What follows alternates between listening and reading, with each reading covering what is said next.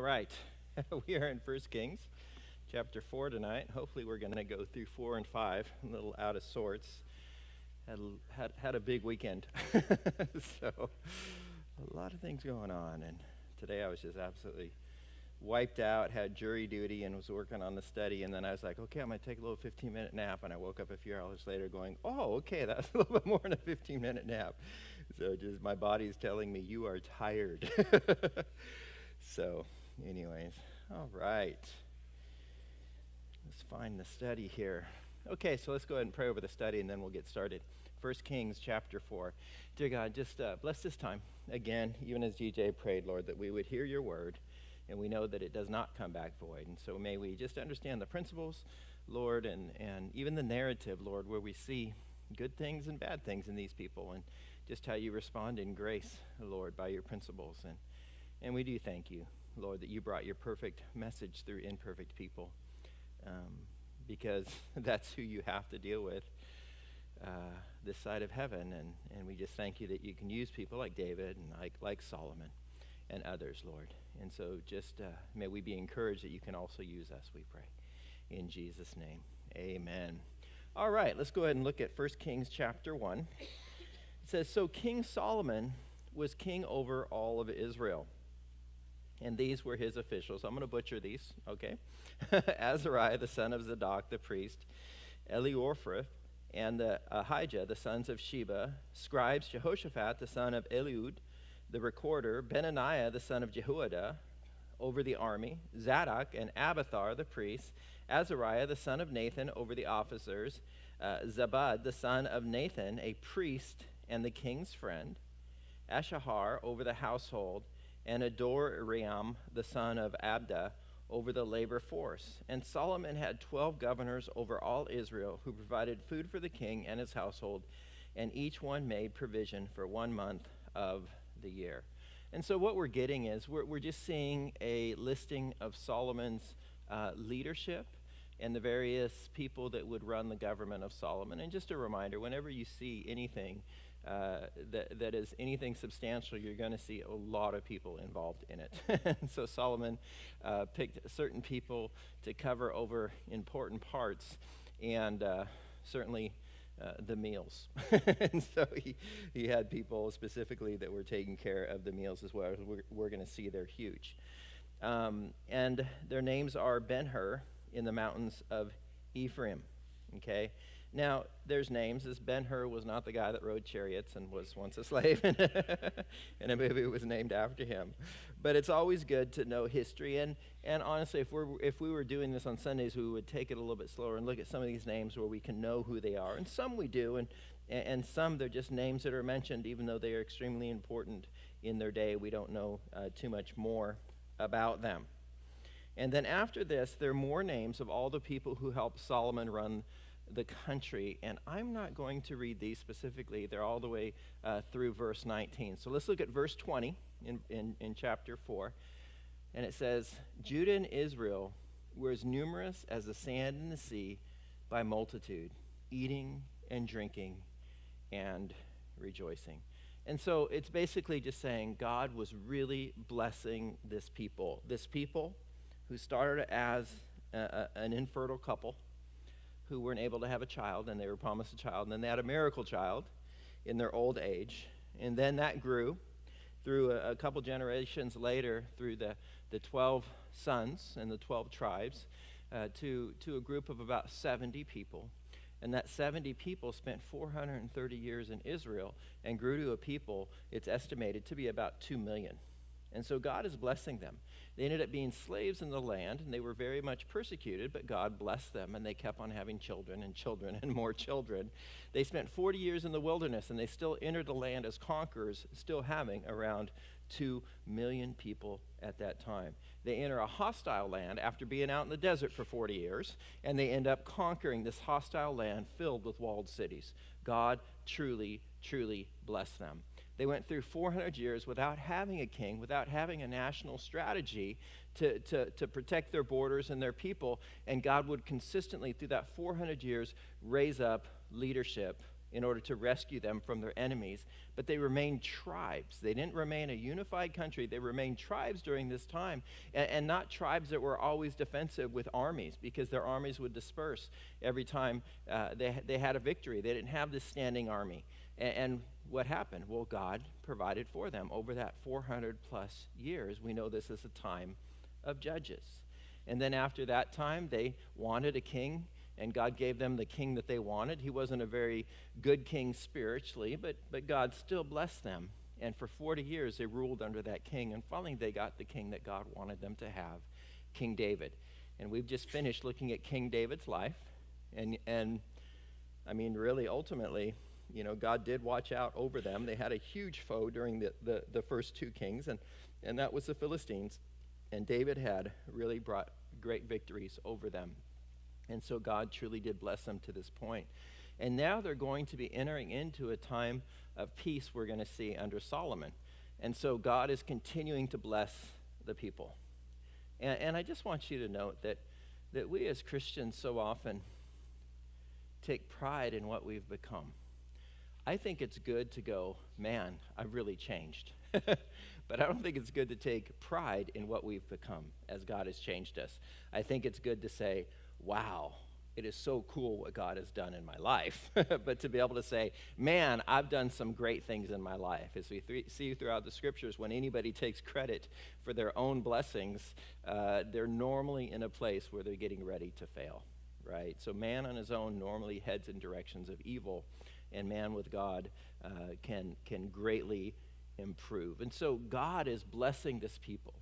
And, and so often, you know, this has always been the Jews' problem, right? God blesses us, therefore we're better than everybody else. That's not the case. God blessed them because he chose a people that was going to bring forth a Messiah. And they were that people. They could be extra blessed had they actually followed God, and many of them didn't. In fact, it's believed that most of those that died in the wilderness during those 40 years didn't believe, and they may not be in heaven. And Hebrews would indicate this. You know, and so God blesses everybody. This side of heaven, everybody is blessed. You know why? The first time they sin, God doesn't damn them to hell. right? And, and, they're able to eat.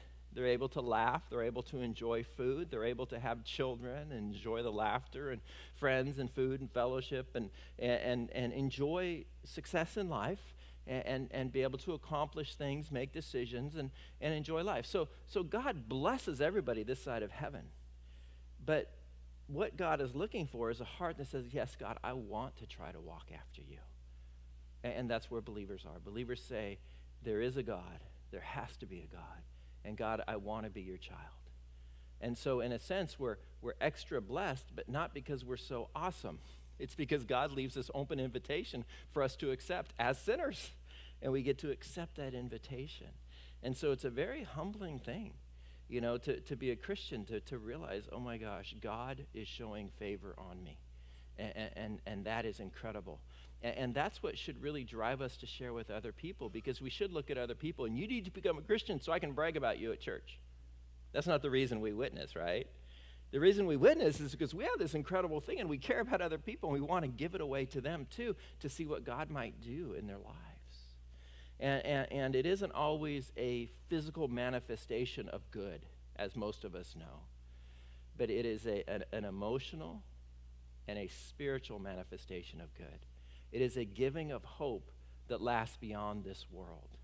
And so this world is hard, and we know that. And, and I don't expect God to make me a millionaire. I don't expect God to always give me good health. But you know what I do expect? I expect peace that surpasses understanding because God promises it. I, I expect hope in eternity. You know why? God promises it. And, and, and, I expect to become a better person in character throughout my whole life. Why? Philippians chapter 1, verse 6. He who began a good work in me will be faithful to complete it. Romans 8, 29.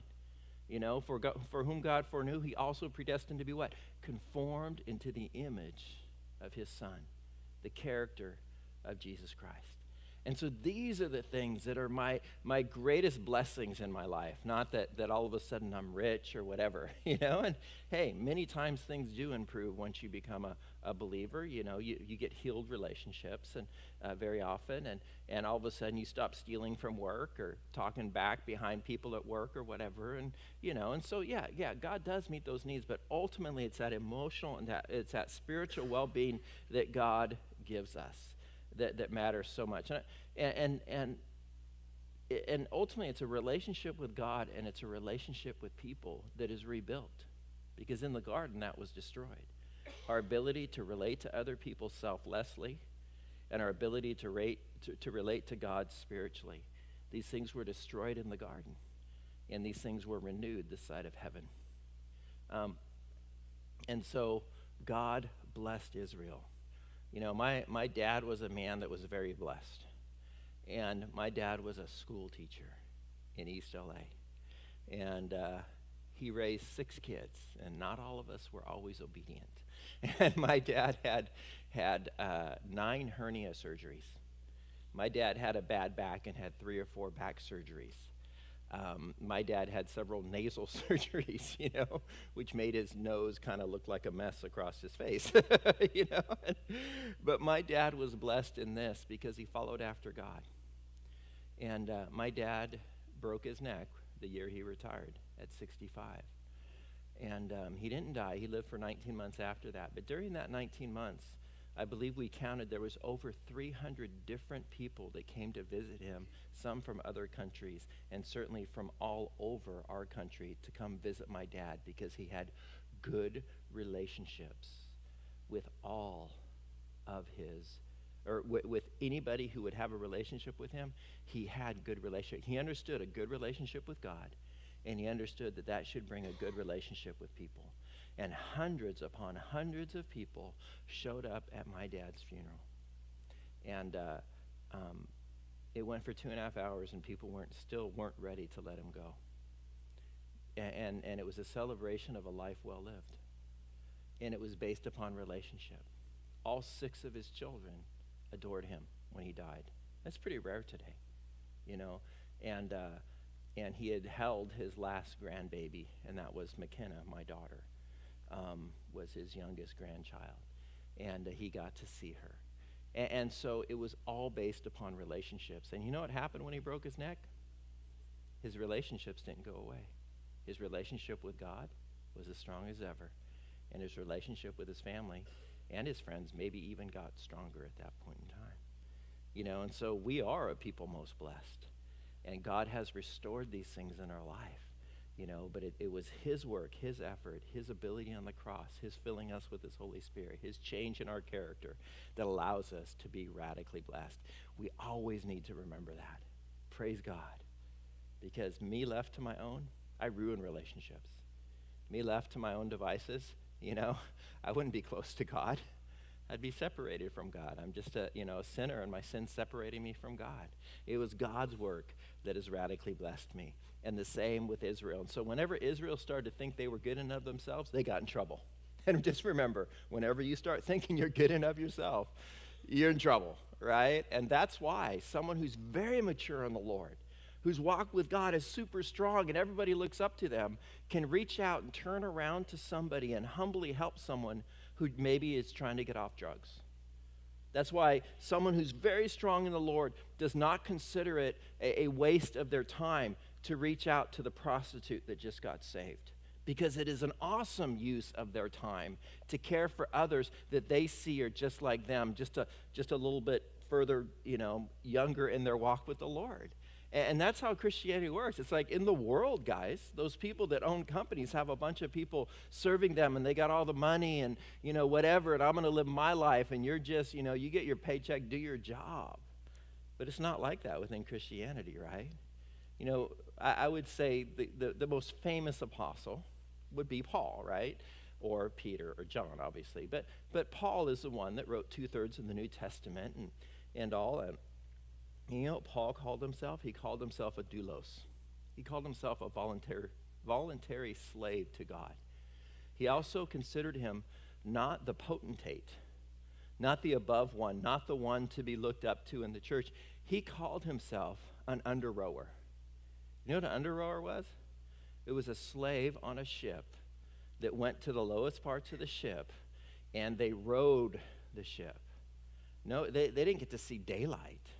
They were the ones, many times, chained. And he's saying, as a Christian, the principle that Jesus taught was if you want to be great in God's kingdom, what? You must be the servant of all. The name of Jesus is the highest name in heaven. Why?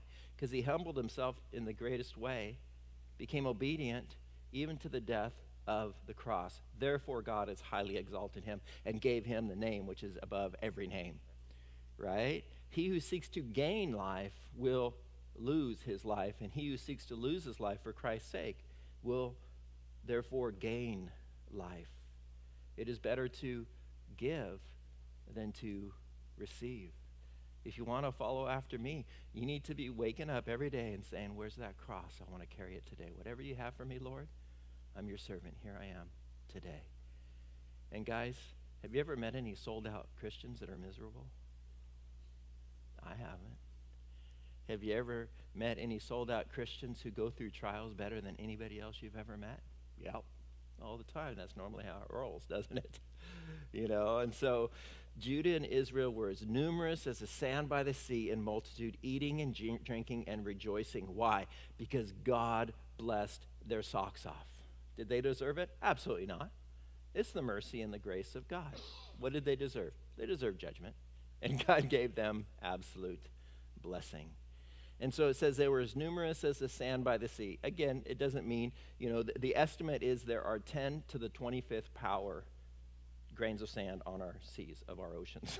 you know, but, but that doesn't mean that they're that numerous. It just means God has radical, radically blessed them. Now, God had promised Abraham, remember, it's Abraham and his wife. They got past their childbearing years by a couple decades before God blessed him with a child of promise. But God had told him, Blessing I will bless you, and multiplying I will multiply your descendants as the stars of heaven and as the sand which is on the seashore, and your descendants shall possess the gate of their enemies. Prior to him having a baby, this is what the Lord is telling him past the years of childbearing, Genesis 22. And so we're looking at God's blessings on the people. And again, we're going to see it's not specifically because of Solomon that God is blessing Israel. He's blessing them because he's a blessor. Right? A lot of people say, "Oh man, what a cosmic killjoy." you know, God, God doesn't want to bless me. You know, and and uh, you know, if I become a Christian, I can't, I can't smoke dope, or at least can't smoke dope and feel good about it. you know, and I can't sleep around, at least not sleep around and feel good about it. You know, but in all reality, what is dope doing to your life? It's destroying your life. And what God does is He changes us to the point where we won't want, we don't want to be that. We don't want to have those things in our life. You know, people say, you can't. I look at them, I go, I can't. Paul says all things are permissible. The blessing is I don't want to anymore. I want, I, I want to seek righteousness instead of selfishness. And so God blesses the people.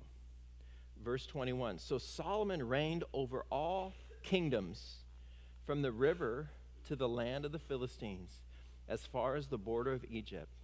They brought tribute and served Solomon all the days of his life.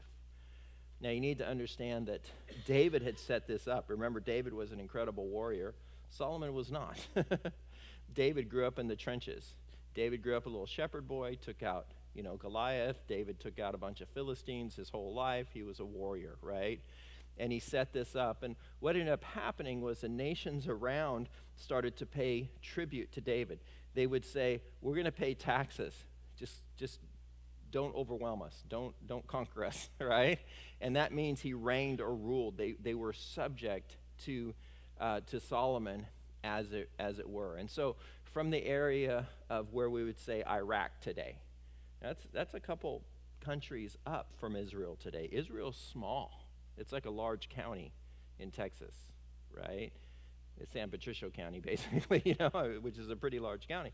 But, but it's like the size of a county, all of its land mass that the Jews are actually possessing, not the West Bank and not Gaza. But if you, if you look at it, it's pretty small today.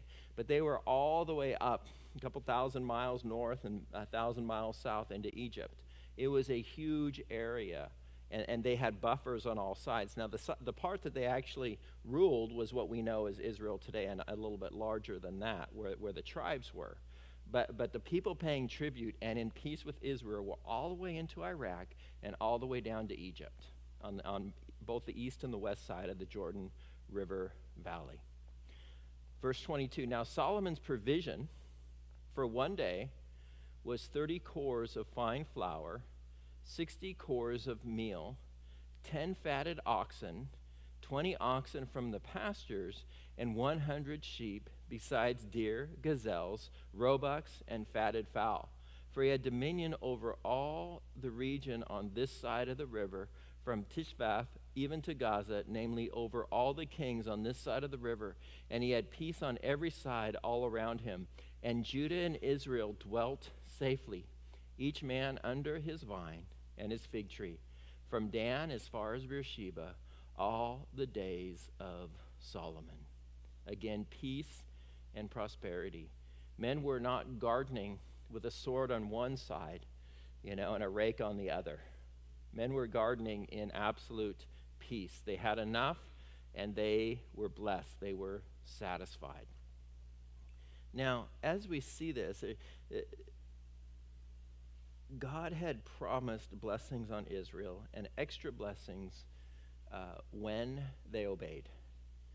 And, and they're living on the, the residue of David's obedience. After Solomon, the kingdom will be divided because of Solomon's disobedience. But Solomon is living on the residue of David's heart towards God. And so God is blessing them. And it is the greatest time of abundance. It is the greatest time of peace. It is the greatest area that they ever ruled. But, you know, some see this very much as a, a, as a picture of what it will be like when Jesus Christ eventually rules and reigns over Israel physically after he comes back. Right? It says in Micah 4, verse 1 through 4, it says, now it shall come to pass in the latter days that the mountains of the Lord's house shall be established on the top of the mountains. That would be Moriah. And shall be exalted above all the hills. And peoples shall flow to it. Many nations will come and say, Come and let us go up to the mountain of the Lord, to the house of the God of Jacob. And he will teach us his ways, and we shall walk in his paths. For out of Zion the law shall be, go forth and the word of the Lord from Jerusalem. And he shall judge between many peoples and rebuke strong nations afar off. They shall beat their swords into plowshares and their spears into pruning hooks.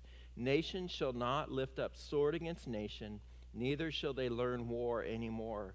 But everyone shall sit under his vine and under his fig tree, and no one shall make them afraid, for the mouth of the Lord of hosts has spoken. And so, what this speaks of is a time yet future to us where Jesus Christ is going to come back and he will physically rule and reign over the earth for a thousand years.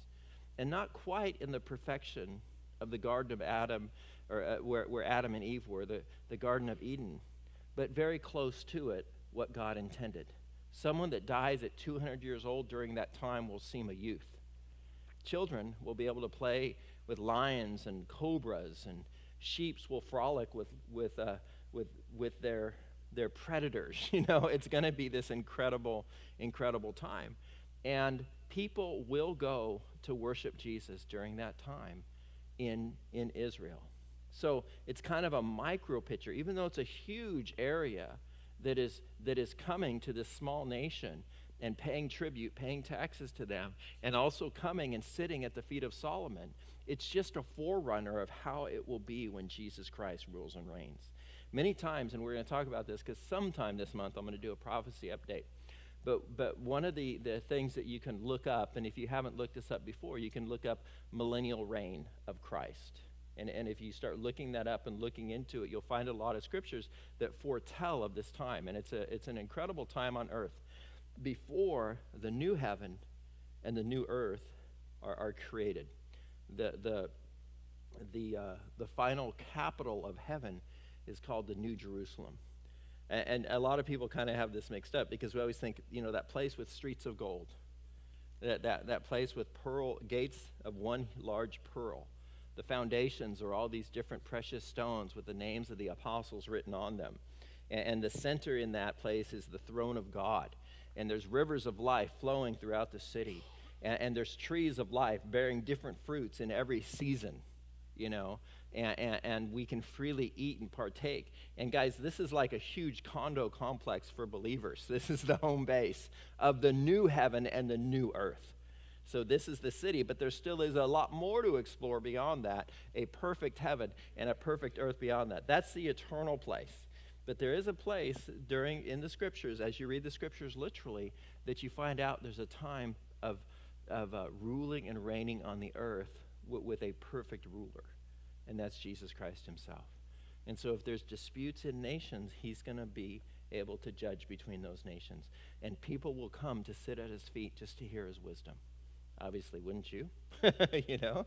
And uh, so it's a beautiful time. But this is what we see. We see people from all around coming to Solomon to hear uh, the, uh, the wisdom which he speaks over time.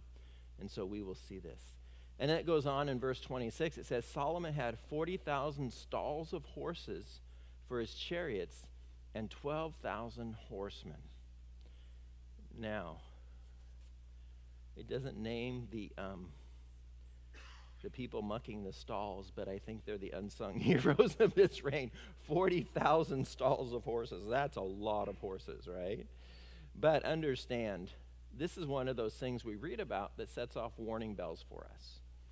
And, and, and one of the hard things for uh, Solomon is Solomon, you know, from the indications in the scriptures, it seems that Bathsheba was one of David's favorite wives, right? And, and, and therefore, he probably spent a lot more time with the children that he had from Bathsheba. And therefore, Solomon had a lot more of the character of David than some of his other sons, as we hear about the history of his sons, right? And uh, so at the same time, Solomon was silver spooned. Solomon had everything he wanted. He wasn't raised like David. And, and, so some of the things that he gets into, we can see that, that he makes choices that aren't, are not the choices that he should have made. Why? Well, in Deuteronomy chapter 17, it gives rules. When you have a king, Israel, this is 400 years, 500 years before they had a king, right? And uh, in Deuteronomy, it tells us what the rules are for having a king. It says, The king shall not multiply horses for himself, nor cause the people to return to Egypt to multiply horses. For the Lord has said to you, You shall not return that way again. And it's even revealed in chapter 10 of First uh, Kings that Solomon gets many of his horses from Egypt itself. So he's not supposed to do that. And this is one of the things that Solomon does remember, a king in Israel was supposed to live like a pastor over the people as opposed to live like a king over the people, right? And, and, and so he is flaunting his wealth over the people. You need to understand that sometimes our bragging and showing off is actually an indictment to our disobedience. Right? And as you get older as a Christian, sometimes you look back and the things you've said to people and the things you kind of bragged about, and you're like, oh man, what a fool. you know, because you just learn wisdom over over time. You're like, oh, that wasn't a good thing. That wasn't a good thing to do. But uh, so it says that about him, but that's kind of like, ooh, that's not a good thing. Why? Because he's going directly against the word of God. But remember, God is still blessing him, and he's living off of the residue of the blessings of David. So, so a lot of times we kind of think, well, I had a bad day today. God won't bless me. I had a good day today. God deserves to bless me. You know what? God will bless you because of the life of Jesus, not because of your life. And, and, and what your disobedience does, it just removes you from the place where the blessings already are in your life. Now, let, let, me, let me explain that again. There's blessings God wants to give you in your life, and they're already there waiting for you. But when you walk away from Him, you're not getting the blessings. Whose fault is it? It's yours. It's not God. Is God withholding blessing? No. You've walked away from the blessing. Okay? And again, I always use a relationship with my mom because when my mom was alive, you know, she was known nationwide, maybe worldwide, for making some of the best chocolate chip cookies ever. Many of you know this if you've been around our church and knew my mom. But my mom would always want to give me chocolate chip cookies. And when I visited her in California, her, her, she always wanted to have the timing that they were just freshly out of the oven and still gooey. Like, oh, yeah, right? And uh, I could choose to have a good relationship with my mom or not. She always wanted to give me chocolate chip cookies. But I, I could choose to never talk to my mom and never visit my mom. Therefore, what don't I get? Chocolate chip cookies. God spiritually has chocolate chip cookies for you. Just saying, you know? and if you choose to be away from Him, you're not eating of the good fruit. When you're close with Him, He does have the blessings there. He always wants to bless you. He doesn't bless you in the way that you tell Him to bless you. He blesses you in the way that He knows are best for you, though, at the same time. Okay? Um, uh, verse uh, 27 goes on after the horses. It says, These governors, each man in his mouth, provided food for the king, for King Solomon, and all those who came to King Solomon's table. There was no lack in their supply. And so it was suggested that since King Solomon had so many employees and so many people working for him and, and uh, so many wives and children and, and all this, that he had as many as four to 5,000 people at his table daily. Think about that. Isn't that wild? How much food was provided on a daily basis. It, it's just, it, it's beyond measure. Like, okay, so, so I, we, we just uh, had a shindig for my daughter's wedding. You know, and I think about how much food was provided, you know, and then my family was in town and you know, my wife showed up with bags and bags of, of, of barbecue for my brother and his wife because he's from California and he loves Texas barbecue, right? And I, I, look at her like, are you kidding? More food? You know, because the, the morning before, I had bought like 20 uh, breakfast, you know, bacon, egg, and cheese tacos for some guys that came over to my house. And I had about, you know, I don't know, six or eight of those left over, so I've been like trying to eat them because I'm cheap. Don't let that food go to waste, right? And then, you know, and then I come to the church on the day of the wedding, and then there's all this food still there, right? From uh, uh, just everybody getting ready for the wedding, and we had like eight extra people on each side, and everybody was there helping, you know. So there was all this food there. Then eating all the food at the um, at the uh, um, at the reception and then having cake afterwards, and then having all the leftovers from the reception, and, and having all, uh, not, you know, that was given out all over the place, and we took a bunch of it home as well, and having all that at home, and having some of the cake at home, and then the next day having barbecue with, with my daughter and her husband and their family, or going to uh, Snoopy's, you know, and then that night having more barbecue and having left over from that barbecue, you know, and it's just like, oh my gosh, you know. But King Solomon, it was a daily thing. Radical barbecue every day. It was interesting because I saw kind of the um, kind of the the level at which this would take place. Uh, at one time, we visited Istanbul, and Istanbul uh, was kind of the capital of the uh, of the Turks, and and uh, the Turks ruled the world for 800 years, the, the Europe basically, and uh, they would have uh, three to 5,000 people at dinner every night. And, and, so you can go to the Sultan's palace and, and you could see like kitchen after kitchen after kitchen after kitchen after kitchen after kitchen after, you know, like this whole building, it looked like a full-on barn was a kitchen, you know, and they would feed this many people. It's just, just an amazing undertaking. Verse 28. They also brought barley and straw to the proper place for the horses and steeds, each man according to his charge. And God gave Solomon wisdom and exceedingly great understanding and largeness of heart like the sand on the seashore. Thus Solomon's wisdom excelled the wisdom of all men of the east and all the wisdom of Egypt, for he is wiser than all men, than Ethan the Ezrahite, and Haman, Shachal, uh, Dar, uh, Darda, the sons of Mahol, and his fame was in all the surrounding regions. Now, remember that Solomon had asked for wisdom above all else, and God said, I will give you wisdoms and wisdom and blessing. Okay? And we don't know who all these guys were, but uh, obviously they were legendary for their wisdom. Verse 32 He spoke 3,000 proverbs, and his songs were 1,005. And we don't have all of his proverbs, and we don't have all of his songs either. We have a few in the scriptures. Verse 33 Also, he spoke of trees, from the cedar of Lebanon, even to the hyssop that springs out of the wall. He also spoke of animals, of birds, of creeping things, and of fish. And so his wisdom was not just judicial, judicial wisdom. You know, his other types of wisdom that he had, God gave him insight into, you know, various science and, and uh, biology topics. Verse 34, and, and men of all nations from all the kings of the earth who had heard of his wisdom came to hear of the wisdom of Solomon. And so we're going to see that this is a theme that people would come from all over the lands to come visit Solomon. Now we're in chapter 5. It says, Now uh, Hiram, king of Tyre, sent his servants to Solomon because he heard that they had anointed him king in place of his father. For Hiram had always loved David. And so Tyre is just to the north of Israel in the land of Lebanon today. You have Tyre and Sidon, and they were two city states.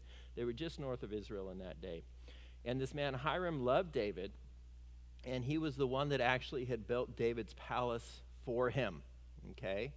Now he hears that, that David has passed the kingdom onto his son Solomon, and so he sends his men down to go greet Sol- Solomon and to have a good relationship with him. And so David had a good name and therefore left a good legacy for Solomon. Verse 2 Then Solomon sent to Hiram, saying, You know how my father David could not build a house for the name of the Lord his God? Because of the wars which were fought against him on every side, until the Lord put his foes under the soles of his feet. But now the Lord my God has given me rest on every side. There is neither, neither adversary nor evil occurrence. And so he says, My father was under attack all the time. And we certainly know this about David's life. He says, But God has given me rest or peace all around. Now, David, during his time of rest, he started to think, you know, the Ark of the Covenant's here, the, the, the, um, the tabernacle's, you know, 20 miles away, and, and God needs a permanent place for his tabernacle and for us to worship him, right? And so he began to entertain the idea of building, building a temple. It says in 2 Samuel of David, chapter 7, now it came to pass when the king was dwelling in his house, and the Lord had given him rest or peace from all his enemies all around, that the king said to Nathan the prophet, See now, I dwell in a house of cedar, but the ark of God dwells in a tent of curtains. And initially, we know the story that, that his prophet Nathan, his main, it seems like his main prophet, the main one to tell him if he's doing right or wrong before the Lord, said to him, do, do all that's in your heart. Why not? But the Lord rebuked him and said, Nathan, no, go tell him he can't do it. Why? Because he's a man of blood. And, and, and even though there's many wars going on, and, and, and there's, a, there's a lot of fighting to get to a point of peace, peace is worth it, and I want to be known as God of peace. And so I don't want you building um, me a temple because it would be known as a temple built by someone who was involved in much bloodshed. So David would later tell sto- the story to Solomon in uh, Second Chronicles. David said to Solomon, "My son, as for me, it was in my mind to build a house to the name of the Lord my God. But the word of the Lord came to me, saying, You have shed much blood and have made great wars. You shall not build a house for my name, because you have shed much blood on the earth in my sight. So, as a warrior, he wasn't allowed to do it. But Solomon, listen, Solomon's name actually means peace. Jerusalem means city of peace. And Solomon is related to the idea of peace, right? And, and so it, it is interesting because of all people who should build the temple, David was the most spiritual king that Israel ever had and a man after God's own heart. But the timing just wasn't right. And so, even though he was a great man and he wanted to be obedient to the Lord, and the Lord wanted an ark built, he didn't want, or a temple built, he didn't want a temple built right then. Okay? And, and, and so it's interesting. As you grow as a Christian, at first you'll notice, man, you know, I, I got to get rid of this cussing thing, right? Because it's a pretty obvious thing, right? And maybe I should stop dealing drugs and, and taking drugs. That's a pretty obvious thing, you know. Maybe I should stop sleeping around. That's a pretty obvious thing. Maybe I should stop beating people up. Yeah, that's a pretty obvious thing, you know. But what happens in your life is, is those things go away, and then what happens? Well, then, then we start to get into the, the smaller things like God's timing, right? And being patient. And so often we know, oh, this is the right thing to do, and that person's wrong, and I'm the one that's supposed to rebuke them. And sometimes God says, well, yeah, you might but you just need to wait. Ooh, we hate that word wait, right? Or whatever it is, you know, and, and then we start noticing there's, there's more things than just right and wrong. There's also God's timing and patience, right? And there's even beyond that, there's our attitude in what we do. So many times we can do the right thing with the wrong attitude, can't we? right? And that's the interesting thing about a Christian. You're never done, right? It's not the Pillsbury, you know, Pillsbury Berry Doughboy, like you poke him and he's done. No, you're not done. You're never completely cooked. There's always something God's going to work in your life. And so in, in this, we learn that there's a timing issue, and David was not the one that was supposed to do it. We saw this even in Jesus' life. Remember, his brothers were saying, "You got to go to, you got to go to Jerusalem. Show yourself, man. Big shot, right?" And then David said, "Wait, it's not my time." Right? And, and so uh, Jesus, I mean, Jesus said, I think I said David said, but Jesus said, it's not my time. And uh, so he, he waited, and then he went eventually on God's time, uh, not on his brother's time. Okay? So Solomon proposes a temple, verse 5. And behold, I propose to build a house for the name of the Lord my God, as the Lord spoke to my father David, saying, Your son, whom I will set on your throne in your place, he shall be, build a house for my name. So Solomon is aware of the prophecies concerning the building of the temple about him.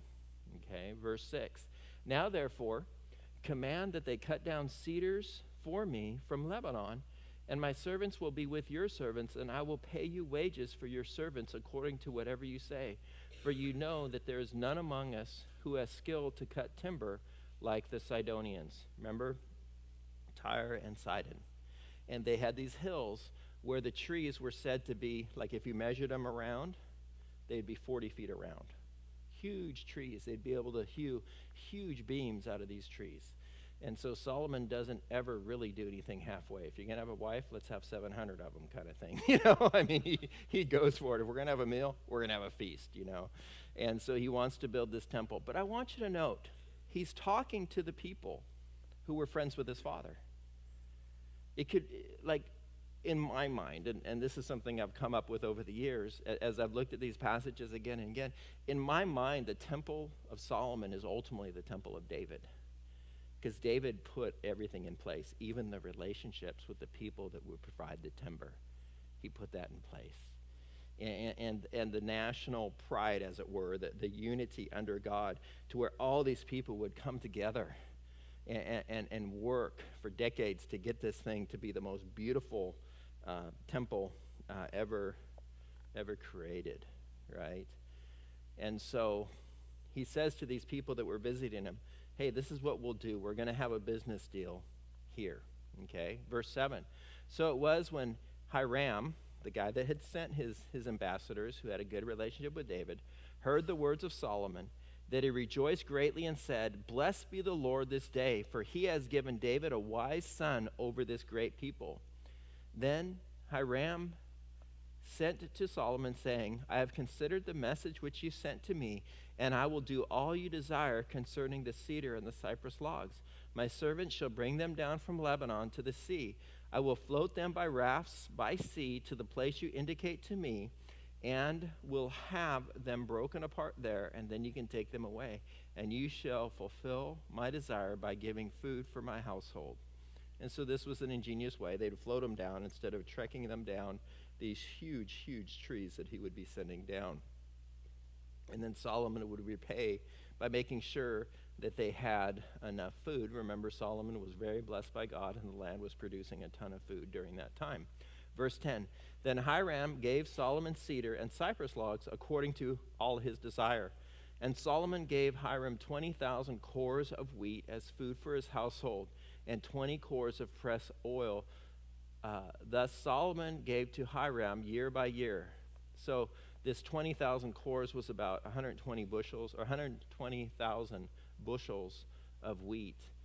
And uh, tw- 11 kors of pressed oil were 120,000 gallons of oil. You know, so, so a lot of the basics were sent to him. Verse 12 So the Lord gave Solomon wisdom as he had promised him, and there was peace between Hiram and Solomon, and the two of them made a great treaty together.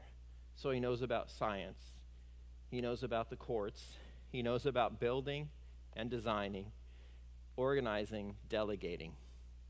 Solomon truly was a man blessed with wisdom right? In, in our economy, most of us can only know a certain amount about certain things, right? We got to rely on specialists in other areas. He was given some radical wisdom, and not just, you know, wisdom about science and so forth, but very practical wisdom. And, and just for you to know, there's a lot of very smart people out there that aren't wise, right? So, wisdom is the application of knowledge, it's not just gathering knowledge. And this is where I say, like, say uh, in the church, pastors have wisdom about taking what they know about God and applying it to the practical day to day living of people's lives, right? And, and so, so professors who teach in a classroom uh, don't necessarily have that type of wisdom. And this is why it's kind of scary. I, I, seminaries are okay, but I think seminaries are, are the best places for really solid Christians who are already have a really good foundation would go because a lot of times there's really wacky professors in seminaries because they can come up with all these ideas and they don't see how their ideas actually practically work out in people's lives, right? And, uh, and, and, so you, you see this happening again and again.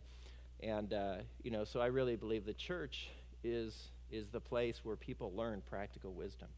And so if you have an intern he's going to learn how to counsel or how you counsel or how you handle day-to-day problems within the church and, and actually have wisdom or you have knowledge that's applied applied knowledge is wisdom you know here, here, here's some wisdom you know there's, there's a boy who went to court because he was being beaten by his parents and then they put him in a foster home and then he was beaten by his foster parents and then they gave him to the grandparents and then he was beaten by the foster parents and then they finally gave him to the Dallas Cowboys because they can't beat anybody. Ha ha, wisdom. yeah, no.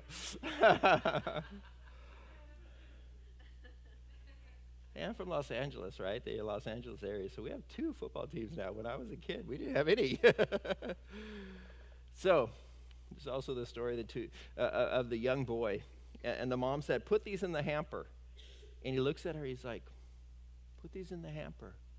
So, so he, he's holding the dirty clothes and he looks, you know, and the mom goes, you know, where all the dirty clothes go, in the hamper. And he goes, so he goes over to his dad's bed and he throws them on his dad's side of the bed on the floor. Application of wisdom there, or knowledge. This is where the dirty clothes go. Anyways, verse 13. Then King Solomon raised up a labor force out of all Israel, and the labor force was 30,000 men. Now, understand, uh, some of these were people that volunteered as slaves from the nations around them. Okay, and slavery was very different under the Israelites. It was more like employment or indentured servants. The Romans were harsh on their slaves, and they treated them like possessions. Some were good with their slaves, some were very harsh on their slaves, so on and so forth. But in Israel, they were not supposed to be evil to those that would volunteer. And a doulos is a volunteer slave. And so many times in that economy, it's not like our economy where you have Social Security or disability or whatever. You know, in those economies, many times you would sell yourself as a servant or you would say, I'm your full time employee, right? And that's how they were treated in Israel and underneath the law. And so he had um, this workforce underneath him.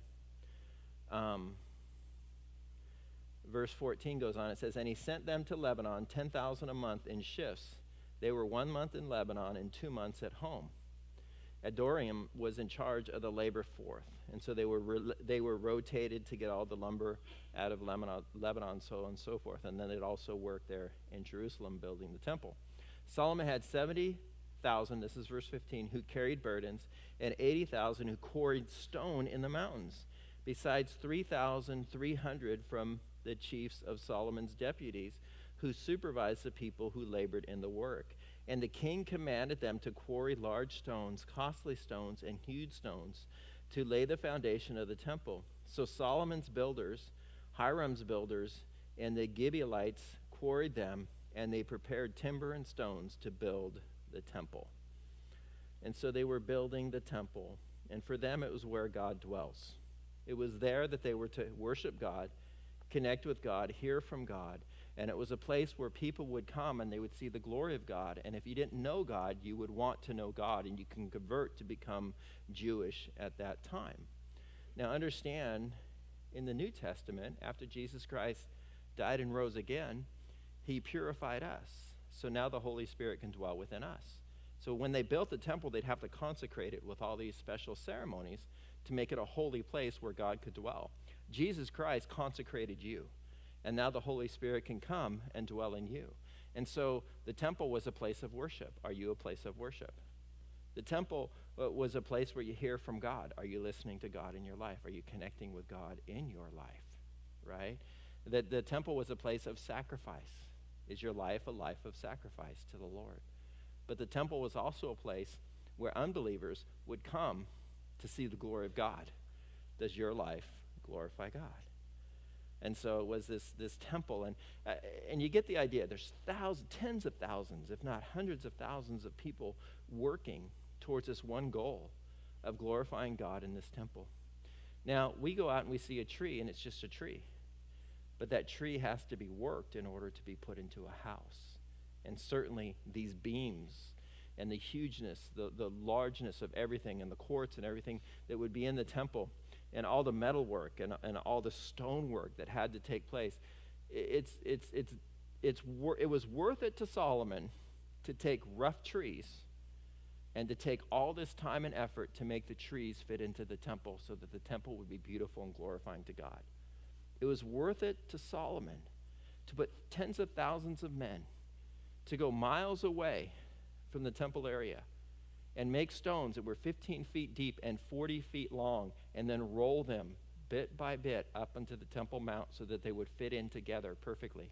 If you go to Israel with us, March 2020, you'll be able to walk down and see the stones that this is talking about. And there was not a chisel heard on the Temple Mount. They would chisel these stones so that they would fit perfectly once they already reached the Temple Mount because that was a place where God would dwell. They wanted to honor God and not make it a construction zone. And so they would bring it on and it would fit perfectly. A rock is just a rock until it's hewn, right? Until it's it's cut. A lot of effort, a lot of time in putting this temple together.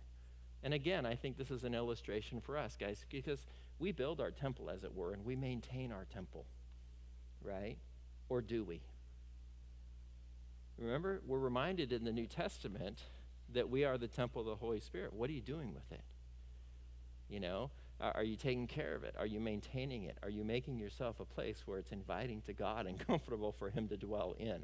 Right? And, and, and so, in that sense, that we are, uh, we need to see our lives as worth it to be a place to where we want God to be pleased to dwell in our life. How do you build? How do you decorate? How do you keep the temple that God has given you? And so he talks about the stones and it being built on a firm foundation. And we are also to build our life on the firm foundation. Now, for us, we want to make sure that we take care of the important things first, right? What is important in our life? I think continually, and I have to do this in my life all the time as well, I have to set priorities, you know, in my life on what is most important.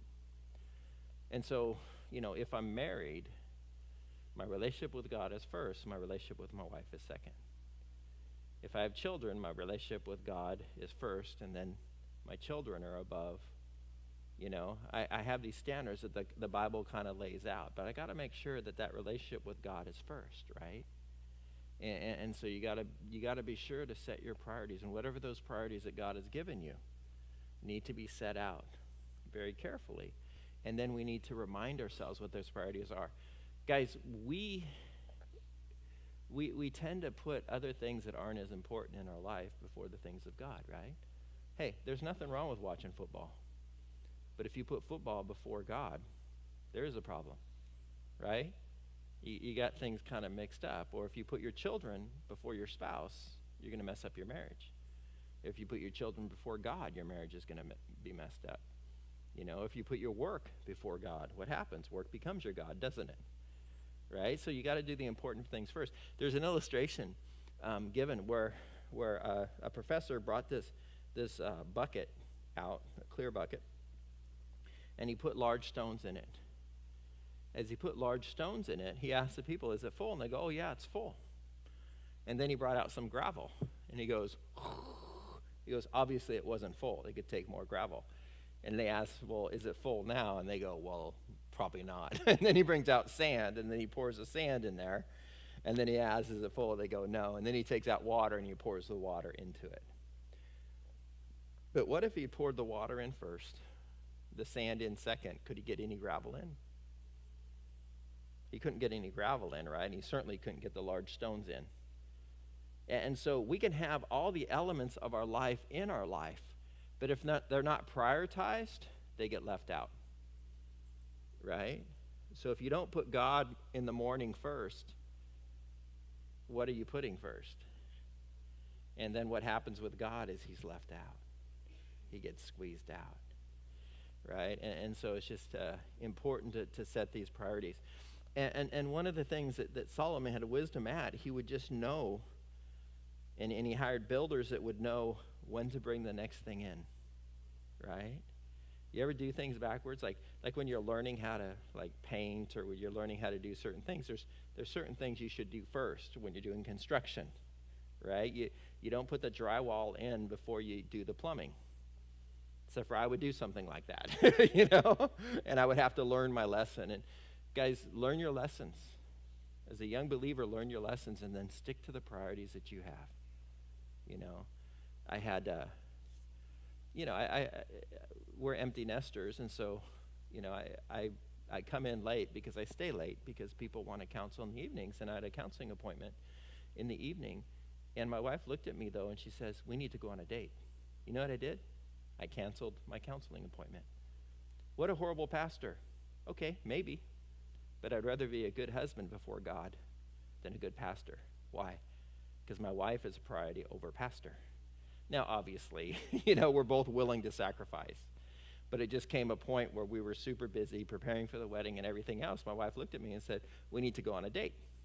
you know, and we went on a date that night. And it was just it was just important and it was like I did not hesitate, right? because there's priorities in my life. You know, again, my children have sacrificed their whole life. And, and, and at the same time, my children are important to me, and they will always be. I, I always have that role as father. But my children have learned how to sacrifice, and so there's times when I say, okay, I'm going to go on this mission trip, and I'm not, I'm not going to be home for two weeks. or you know i have to lead this trip or i'm going on this conference or whatever it is and, and, so yeah my children have totally learned to sacrifice but i need to be so sensitive to the lord that i know that okay this is a priority and right now this is definitely important and we need to do this you see how that works and, and, so solomon was able to build the temple and the thing is the foundation stones you didn't even see but what if the foundation stones were bad the rest of it would not hold together we as Christians come to church with smiles on our faces, and our home life is hell. Is that a good life? It looks good to Christians, but who's your blessor? Who's your Savior? Who's your eternal God? I would rather have you coming to church looking haggard and have your priorities straight at home than, than coming to church with your teeth gleaming and your best perfume on while your family's falling apart. You know, I, I would rather, you know, to, I'd rather see you haggard and not, not ready to impress everybody else if you're actually spending time with God. And, guys, you need to understand one, one of the things about our church is um, it, it's always been my heart because I, I grew up in a huge church. And as a kid, I felt like I could never admit my faults because it was like, we're never has heard a discouraging word, right? And I didn't want to have a church like that. And then I was on staff at a church that was huge. And there's nothing wrong with that, it was, it was just a huge church. But one of the things I saw is you had to like go through levels of trying out for the worship team to, to the point where the worship team were basically they could all be professional singers and musicians. Nothing against our worship teams. But I'm just saying there was just a, the, this, this high level, you know, that, that was like, it just excluded so many people who maybe had an incredible heart of worship and maybe even a better heart of worship than those that were leading worship, right? And, and, and in our church, I just, you know, it's my heart to say, you know what, we're a bunch of volunteers wanting to serve God. How does God look at the heart? And, and, and, and for me, I lead worship sometimes. I want God to be pleased with my heart while I'm leading worship, right? More so than pleasing you, I have a priority to please God. And it's not that we want to be distracting either. We want to have a certain level of excellence. And that needs to be our attitude. But at the same time, the worship team's heart matters more to God than the note coming out of their mouth. And it matters that way for you as well. Because we can look all good on the outside and play the game. And when I was on this staff at the large church doing counseling, every so often there would be someone who would come in for counseling and I would look at them, and my guesstimation of their life is their life was perfect. And in all reality, I realized, oh my gosh, you're a mess. But what they were projecting was perfection. and what they had is a mess. I'd rather see them project less perfection and deal with the reality of who they are before God. And so that foundation stone, what I'm getting at, is important. Trees need a good root system. But you never walk up to a tree and go, wow, that tree has a good root system. Right? You look at the branches, you look at the blossoms, you look at the fruit, if it's a fruit bearing tree, and, and, you look at the, the produce. But that produce cannot be there unless the root system is good. And that's what you don't see. If the root system's bad, nothing else really comes of it. And so just, just understand those foundational stones, the way that you build your temple, Remember Jesus in the Sermon on the Mount, he said, You know, the wise man built his house upon the rock, the foolish man built his house upon the sand. And, and, and the picture is not this big old craggy rock sticking out of the water. The picture is of a man going, Okay, I'm going to build my house here. I'm going to dig down and I'm going to find a firm foundation to plant my, my house on. The man next door to him says, hey, I'm just going to build this house. I'm going to build it quick without digging down and finding the foundation. Guys, sand is a great foundation until the water comes by. You guys realize that, right? Sand doesn't really settle, it doesn't crack your foundation until we have a hurricane. Sand is not good during a hurricane.